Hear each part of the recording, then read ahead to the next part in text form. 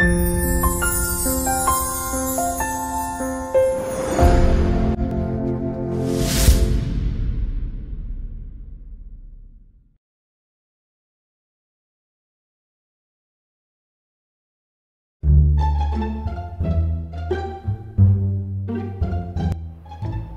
الشهر قرر صاحبنا يروح يعمل شوبينج قعد يدور رايح جاي على حاجة يشتريها حتى فجأة.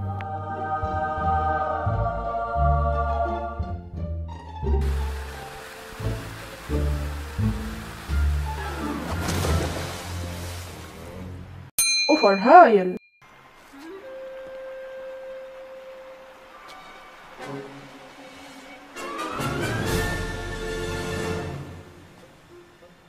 إيه اللي أنا عملته ده؟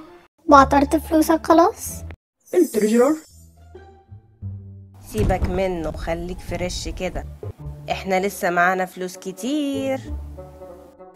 وكمان لسه في حاجات كتير ممكن نشتريها. أسكت أنت. لا أسكت أنت. لا أنت.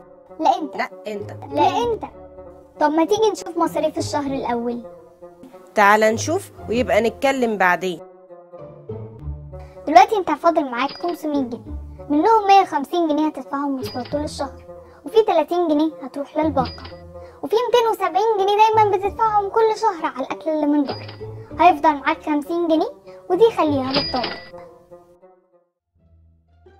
يا عم سيبك من فلوس الطوارئ. لا لا لا. فاكر آخر مرة؟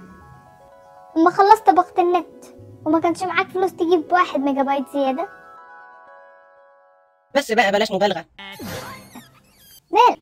خايف أضيع فلوسي تاني. الحل قدامك. الموضوع بسيط طول ما أنت منظم فلوسك. المصروف اللي يخش لك في أول الشهر.